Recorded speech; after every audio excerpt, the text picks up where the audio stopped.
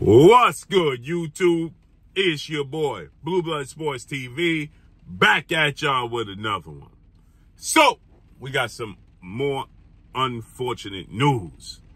As Errol the Truth Spence Jr. seems to have now confirmed the split between himself and two-time trainer of the year, well-renowned future Hall of Fame trainer, Derrick James. Errol Spence has been with Derrick James his entire professional career. His entire professional career, the truth, has been with Derrick James. Errol Spence suffered the first major setback in his career, July 29th, Las Vegas, Nevada, T-Mobile Arena, when he took on his biggest rival, Terrence Bud Crawford. This was a 50-50 fight on paper if there ever were one, okay? It was the most anticipated fight in the last decade. It was an undefeated, undisputed welterweight showdown. And it was a one-sided dominant performance victory in favor of Terrence Bud Crawford, who dropped Errol Spence in the second round, twice in the seventh, then stopped him in the ninth. With that said, Errol Spence is a fighter who is a hard hat, lunch pail, consistent, fundamentally sound fighter. Not a lot of flash and flair to Errol Spence's style. And now Errol Spence took the first loss in his career. And it's said that he and Derrick James have not spoken since the fight. Well, now I'm being told they have spoken. But Errol Spence doesn't like the fact that now Derrick James has become, once Errol Spence unified the belts, became a three belt world champion. And for the titles, he stopped Kell Brook in 11th. He stopped Yordenis Ugas in the 10th. He dropped Shawn Porter in 11th and won all three of those belts. Right? Dominating perf performances by Errol Spence. Beautiful. Errol Spence suffered a horrific car accident that changed the trajectory of his career forever. He was very inactive from that point forward and just hasn't seemed to be himself since then. That was just 10 days after unifying the belt against Shawn Porter, October 2019. He beat Shawn Porter September 2019. October 2019, is when Errol Spence suffered that horrific car accident. It changed everything.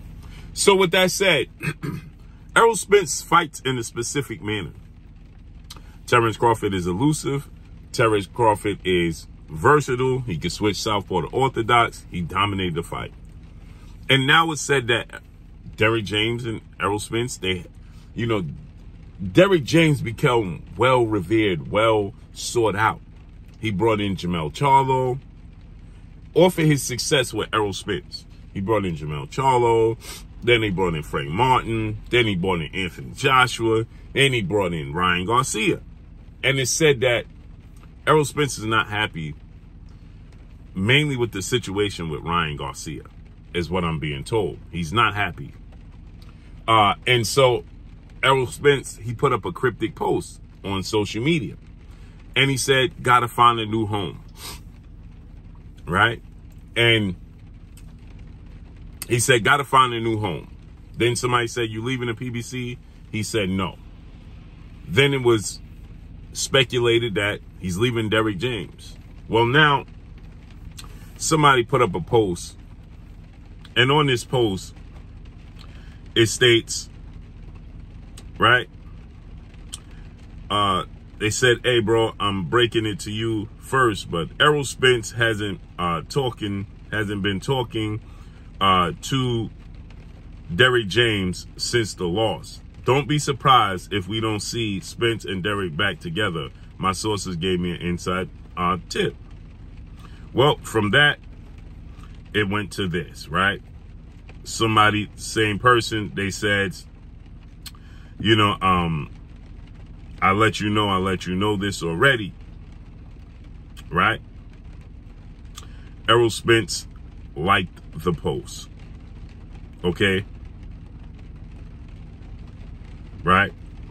So Errol Spencer seemingly liking the post that is indicating he's leaving Derrick James. And that's unfortunate. So, Errol Spence is 33. He's 28 wins, one loss, no draw, 22 wins by way of knockout. He's had some major setbacks. He had the car accident that saw him out the ring for 14 months. Uh, came back, beat Danny Garcia. Then he was out the ring again for a year. He was scheduled to fight Manny Pacquiao August of 20, August 21 of 2021. He suffered a broken or detached retina that saw him uh, um, out the ring again for a year. He came back a year later. He beat Yordenis Ugas in a unification. Ugas filled in for him and beat Manny Pacquiao. Then he filled in for. Then he beat Ugas and took the belt from Yordenis Ugas. Then he was out the ring again for a year before he got the Terrence Crawford fight. Then he, we know the history. The rest is history. Now Errol Spence is moving up to 154 pounds, right? And so, what would be the next best option for Errol Spence? Stylistically, at 33 years of age, suffering so many traumas. Now, he was supposed to have the Terrence Crawford rematch, but he suffered a cataract that he stated was hindering his vision, preventing him from um, being responsive, reactionary to Terrence Crawford's jab and hooks. He said, hence why the reason I got hit with so many jabs and hooks, right? So, with that said, he had a surgery on that, and that prevented the rematch from happening. And other medical, according to Stephen Espinoza, other medical issues have arose. If Errol Spence is going to make a change, what based off of his style, he's a southpaw. Uh, he's flat-footed. He don't fight on his toes. Um, he was once considered a black Mexican fighter, aggressive, high work rate, uh, strong, durable fighter, right? Jabs, hooks, breaks you down physically and mentally. So now it said that, you know, um, he's splitting from Derrick James. What's the next best option? Me personally, I think that go right down the road to Houston. Ronnie Shields, Hall of Fame trainer, uh, Ronnie Shields is, you know, um, a legend in the sport. Uh, he teaches many different styles. I think that that would be the perfect fit for Errol Spence. I think Ronnie Shields would be the perfect fit for Errol Spence at this stage of his career.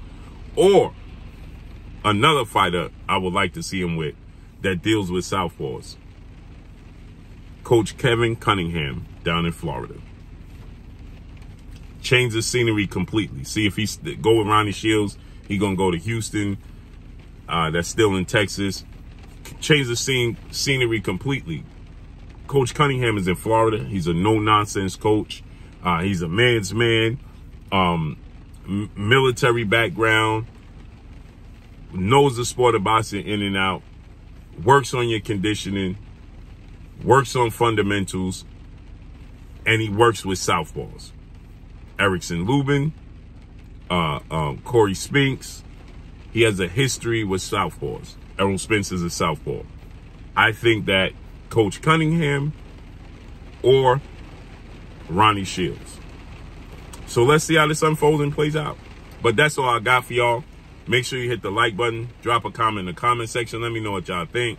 Y'all already know what it is. It's your boy Blue, Blue Blood Sports TV hate, like, comment, and subscribe. You haven't subscribed, hit the subscribe button, hit the like button, hit the bell icon to get all the new notifications. Follow me on Instagram at Blue Blood Sports TV, all one word. So all I got for y'all. I'm gone. Peace.